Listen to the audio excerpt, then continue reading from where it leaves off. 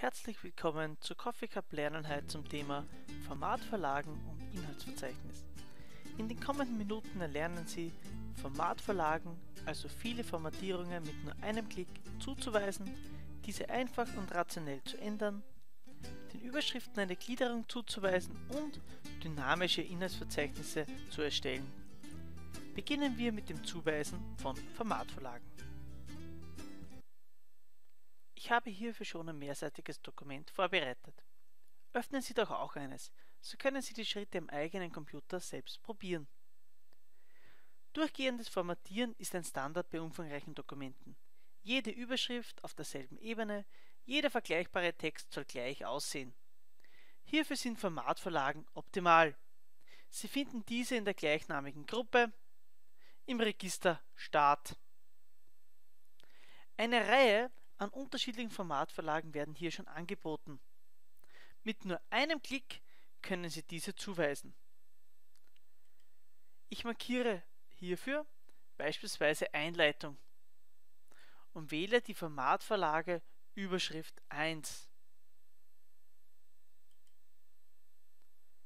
So wird das Bündel an Formatierungen, in diesem Fall zum Beispiel Cambria, 14 Punkt, Schriftfarbe blau, zugewiesen. Als nächstes möchte ich die Überschrift Neue Kommunikations- und Informationsmöglichkeiten als erste Überschrift bzw. Kapitelüberschrift festlegen. Ich markiere und wähle wiederum Überschrift 1. Schon wurden die Formatierungen übertragen. Die erste Unterüberschrift in diesem Kapitel lautet Zugang der Jugend zu neuen Technologien. Also wähle ich hierfür Überschrift 2. Genauso bei die Entwicklung des Internets. Ich wähle Überschrift 2.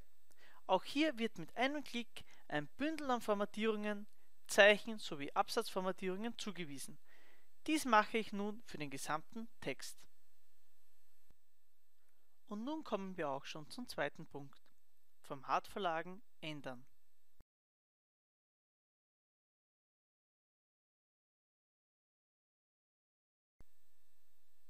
Am besten markiert man hierfür eine entsprechende Überschrift, zum Beispiel die Überschrift 1 Einleitung. Nun ändern Sie diesen Textteil, beispielsweise Schriftfarbe Rot und eine andere Schriftgröße.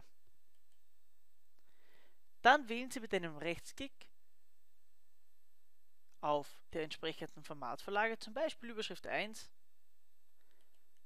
Überschrift 1 aktualisieren, um der Auswahl zu entsprechen.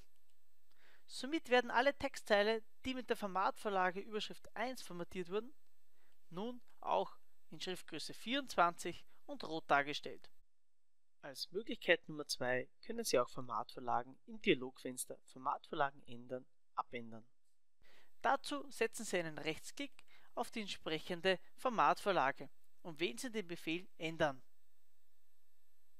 Hier können Sie alle Änderungen durchführen, beispielsweise Schriftfarbe grün.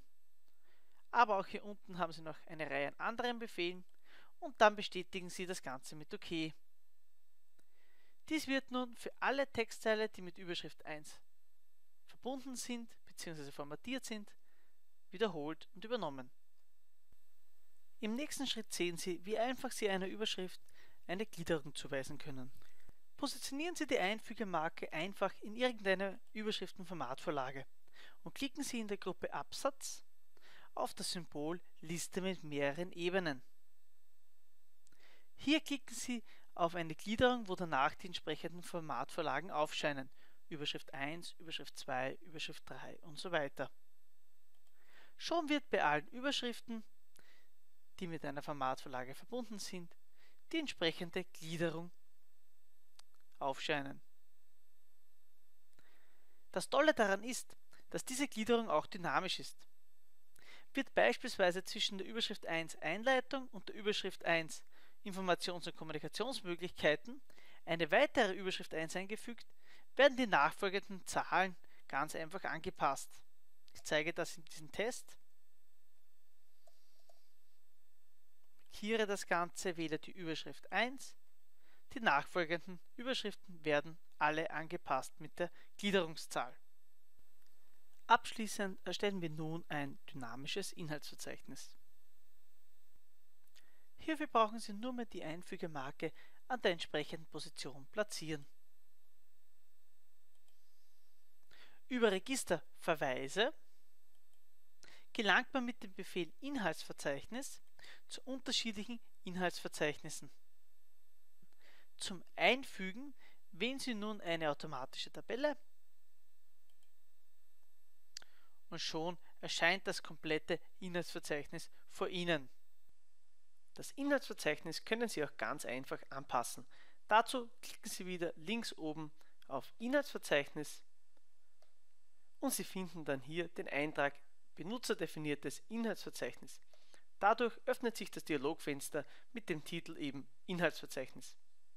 Sie können hier einige Einstellungen und Anpassungen treffen, wie zum Beispiel die Füllzeichen ändern oder auch die Ebenen, die angezeigt werden, hier definieren. Also wenn Sie nur Überschrift 1 und Überschrift 2 haben möchten, wählen Sie 2. Mit einer Bestätigung durch OK werden alle Anpassungen einfach übernommen. Dieses Verzeichnis ist auch dynamisch. Verschieben sich Seiten, kommen Überschriften weg oder hinzu.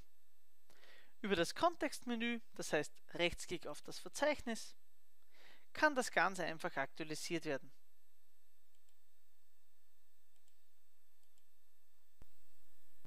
Wir haben nun Formatvorlagen ganz einfach zugewiesen, diese rationell angepasst und verändert, den Überschriften eine Gliederung zugewiesen und ein dynamisches Inhaltsverzeichnis erstellt. Herzlichen Dank für Ihre Aufmerksamkeit und viel Spaß bei Ihren weiteren Coffee Cup Lerneinheiten.